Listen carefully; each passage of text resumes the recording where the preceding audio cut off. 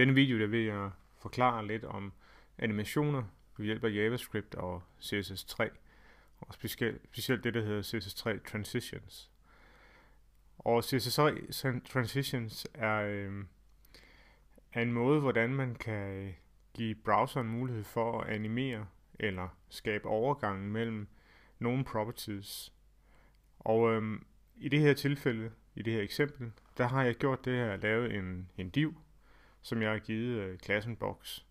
Og så har jeg stylet den i øh, det nederste øh, CSS, hvor jeg har sagt, at øh, den skal have en bredde på 100, en højde på 100, en baggrundsfarve, der er sort, og så har jeg givet den opacity 1. Så har jeg sagt, at hvis opacity ændres, det er det, jeg gør i den linje, hvor der står transition. Hvis opacity ændres, så skal det ske på et sekund, og så skal det ske lineært, som det hedder. Og det kommer jeg tilbage til øh, lidt senere, hvad jeg mener med linær. Det er det, der hedder en timing function. Og øh, længere nede der er så sagt, at øh, når man kører musen henover, ved, altså når der kommer en, en hover event på den her boks, så skal opacity sættes til 0. Så det betyder så, at når man kører musen henover, så vil øh, opacity blive dæmpet til 0 ved, i løbet af 1 sekund. Lad os prøve at se, hvordan det kan komme til at se ud. Så når jeg kører musen henover og fjerner den igen, så bliver opacity ændret. Så når musen er indover, jamen så, øh, så bliver den så dæmpet, og når musen fjernes igen, så vil den så blive, øh, blive sendt tilbage til, til 1. CSS Transitions øh, består af tre elementer, og man kan skrive det på den her måde som sådan en shorthand. Man kan også øh, vælge at øh, skrive transition bindestreg duration for eksempel for den næste her, eller man kan skrive transition timing function for den sidste. Og øhm, det, der, øh, det, der er vigtigt her, det er at lægge mærke til, at det er kun opacity, der bliver transiteret, kan man sige, eller bliver, bliver gjort til genstand for en overgang. Hvis det er, at man skal, og det skal vi sige lige om lidt, skal have flere elementer ind, så kan man enten bruge den, der hedder all, eller også kan man så lave en transition for hver af de properties, man så vil lave transition for. I de her tilfælde, der vælger jeg så at sige, at vi har en det er opacity, og det er et sekund, og vi skal køre det lineært.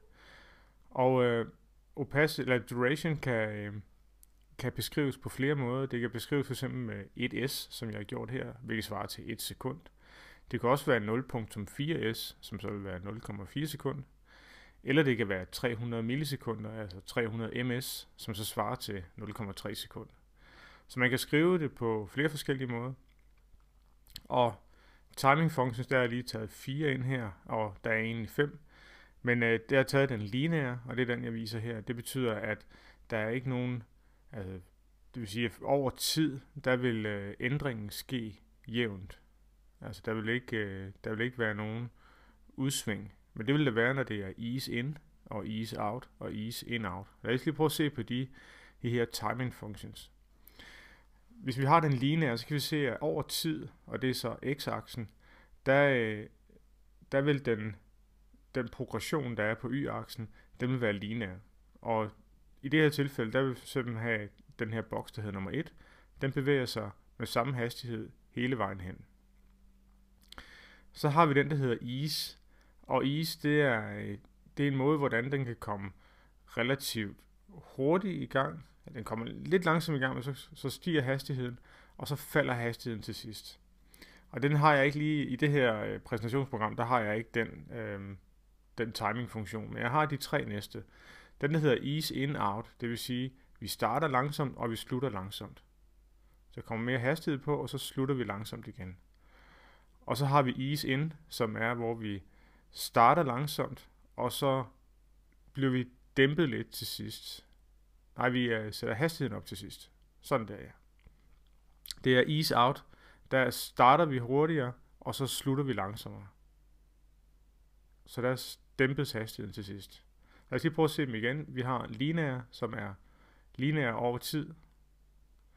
Så har vi ease in, out der foregår ved, at det går langsomt i starten og langsomt i slutningen. Og så har vi ease in, der går langsomt i starten og slutter hurtigt. Og så har vi ease out, som starter hurtigt og slutter langsomt.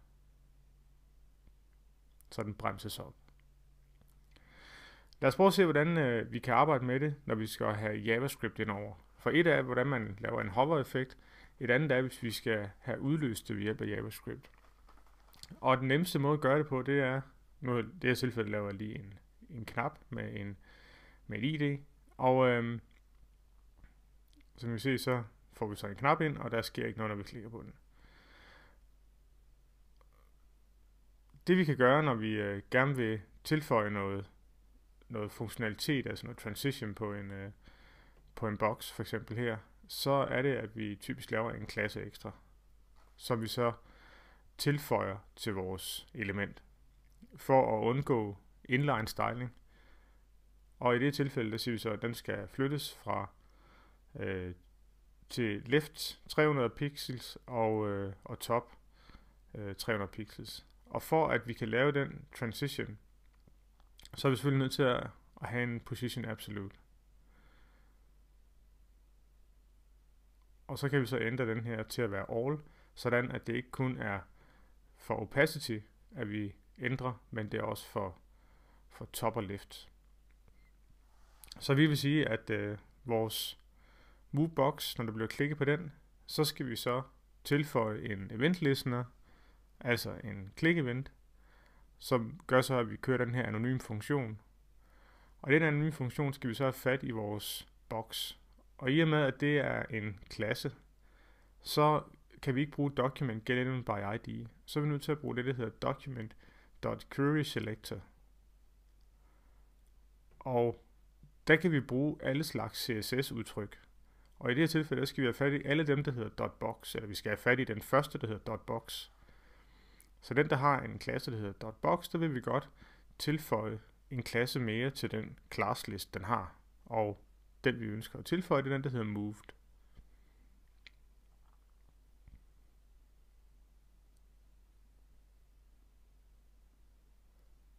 Og som vi ser her, så tilføjer vi den her left 300 og top 300. Når vi klikker på den, skal vi se, så flytter den sig, men der bliver ikke nogen transition ud af det. Og årsagen til det er, at vi har ikke givet den en position fra starten. Vi har godt nok sagt, at det er det hele, der skal, der skal være underlagt en transition, men vi har ikke sagt, hvor starter vi fra. Så lad os sige, at vi starter fra 100 pixels i, øh, til venstre, og så øh, 50 pixels fra toppen. Så får vi en, en jævn animation, altså sådan en transition.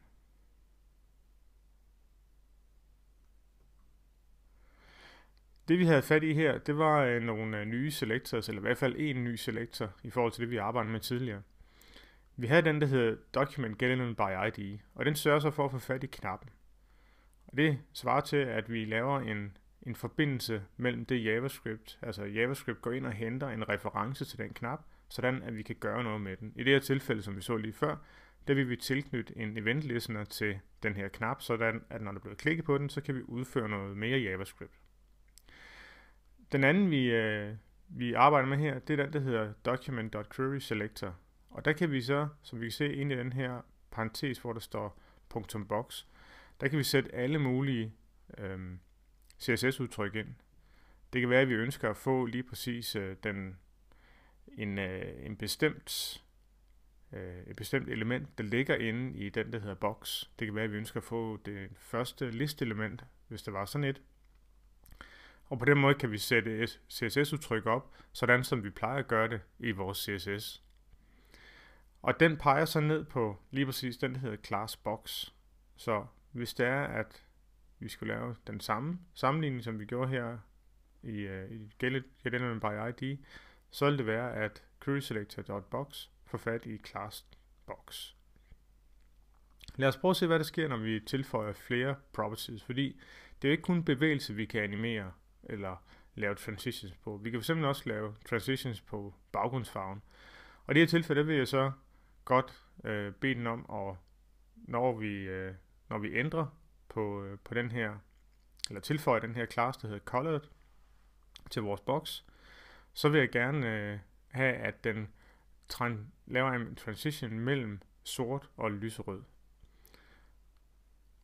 Så vi kan tilføje den her class, som vi også lige har lagt ind i vores style sheet. Så nu går den så over et sekund, bliver det så, sker der en transition mellem sort og lyserød. Det er ikke særlig smart at have to linjer med den samme reference, så vi laver lige en variabel heroppe, der hedder box. Så slipper vi for at have det samme til at stå flere gange, eller lave det samme opslag i dommen eller dokumentobjektmodellen. Så i stedet for det her document query selector, så kan vi nu skrive box. Så det er en måde at effektivisere vores kode på. Og vi kan se stadigvæk, at det fungerer.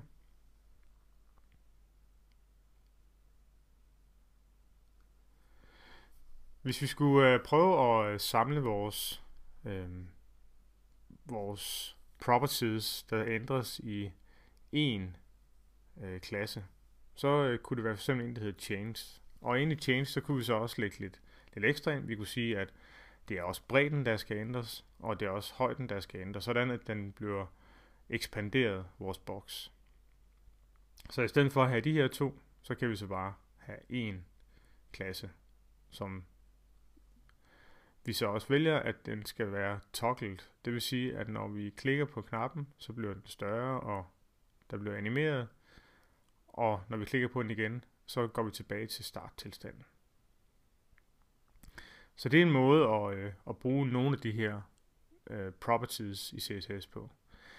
Der er også mulighed for at bruge nogle andre properties. En af de properties, som er interessant, det er den, der hedder transform. Transform kan lave mange forskellige ting. Øhm, som vi kan se her, så kan vi lave rotate og scale, og vi kan lave skew. Og øh, i det her eksempel, som jeg bruger, der, øh, der laver jeg så en rotation på 360 grader, når vi laver vores animation. Så på den måde kan vi få også roteret vores elementer. Noget af det, som du måske lader mærke til her, det er, at det er nødvendigt for os at sætte et præfix på for den property, der hedder transform. Og øh, det er måske lidt værd at, at kigge nærmere på, specielt i forhold til, hvis vi nu skal supportere alle browser, som nu kan supportere CSS3. Fordi det er ikke alle browser, der kan gøre det. Øh, og øh, i, øh, inde på den website, der hedder caniuse.com, øh, der kan du se mere om, øh, hvilke browser, der supporterer, altså hvilke versioner af browser, der supporterer for eksempel transition. Og hvad skal man så gøre? Øh, hvis det er, at, at man ikke supporterer transition, så er det så, at man skal overveje, om man skal programmere det ved hjælp af, altså af en fallback-funktion, så programmerer det ved hjælp af, af JavaScript. Og øh, man kan søge efter transition, man kan også søge efter transform, som vi se her, så har jeg fået sat det pænt op med, at øh, det er WebKit, og det er Mozilla, det vil sige, det er for WebKit, der er det Chrome og Safari, og for Mozilla, der er det så Firefox. Og så er det Opera med bindestreg O, og så er det Transition for alle andre, det vil sige Internet Explorer, Internet Explorer, som, øh, som forstår den, der hedder Transition. Og nede for, øh, for Transform, der er det WebKit og Mozilla og Microsoft og, øh, og Opera, som skal have den her. Og for fremtiden vil det så være Transform, når alle nye browsere supporterer det uden prefix. Og det kan man så finde mere om inde på Can I Use. Og den måde, som jeg har gjort det på her, der har jeg været inde på den side, der hedder prefixmycss.com, hvor jeg så kan øh, sætte mit, øh, mit CSS ind til venstre, og så klikke på knappen prefix, og så får jeg så de her prefix frem, fordi den finder sig ud af, hvad for nogle prefix findes der til transition. For eksempel findes der ikke en bindestreg ms til transition, fordi Microsoft Internet Explorer version 10 var den første, der, øh, der understøttede transitions. Og, øh, og i den version, der valgte man at gøre det uden prefix. Så det er også en ting, man øh, lige skal være opmærksom på, når man bruger de her CSS3 øh, animationsfaciliteter. Fordelen ved at bruge øh, de her øh, transitions, det er, at vi udnytter, at moderne browser kan udføre animationer ved hjælp af deres indbyggede animationsalgoritmer. Og det skal forstås sådan, at vi har øh, mulighed for at, øh, at udnytte, at der er inde i browseren er der noget prædefineret kode, som, øh, som, som har bedre adgang til, til vores grafikprocessor i, øh, i, i computeren. Og det gør, at vi kan, vi kan gøre det på en mere øh, effektiv måde. Og øh, så øh, er det selvfølgelig også mere enkelt at udføre animationen, da der blot skal tilføjes eller fjernes en klasse. Det, er, det så vi før. Det er bare at tilføje en klasse, så bliver det animeret. Ulempen øh, ved det her, det er, at for eksempel ved bevægelse, der er vi begrænset til bestemte koordinater. Vi kan ikke sige, at vi godt vil flytte et element øh, 100 pixels fra der, hvor den er, medmindre vi går ind og manipulerer ved hjælp af JavaScript. Og, øh, og det kan man så også gøre. Man kan manipulere den enkelte klasse, men man kunne også begynde at kigge på, hvordan kan man kode det så øh, ved hjælp af JavaScript. Og, øh, og det, er, det er noget af det, som kommer i en video bagefter den her. Og så skal vi selvfølgelig huske på, at der er mange andre muligheder øh, med transform og translate, og vi kan også bruge keyframes øh, og animation kan vi også bruge, når vi, øh, når vi arbejder med CSS3. Og øh, en øh, kvinde, der har gjort rigtig meget af det, det er Lea Vero. Og hvis man går ind på leaverou.me, og så for eksempel går ind på hendes projekter, så kan vi se for eksempel den her side, der hedder Animatable, hvor man kan se forskellige slags, eller forskellige eksempler på, hvordan man kan lave øh, CSS3 animationer. Hun har øh, været igennem rigtig mange af de her properties, og hvis man er så lidt sindig, at man klikker på den, der hedder Animate All, så kan man blive lidt forvirret. Og man kan selvfølgelig også bare lige klikke tilbage igen, og så se for eksempel på noget af det, der er nede i bund, som øh, jeg synes er, er ret interessant. Alt det, der har at gøre med transform. Så hvis man kører musen henover, så kan man se, at vi kan transformere alle øh, slags properties og bruge 3D-effekter også på vores elementer.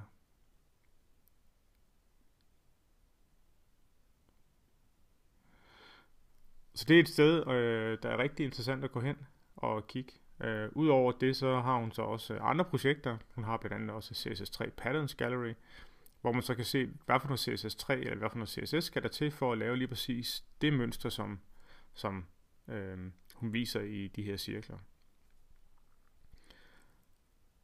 Og nogle er selvfølgelig mere fancy end andre, og, øh, og man kan så gå ind og, og rette koden her, og så se, hvordan kan det komme til at se ud.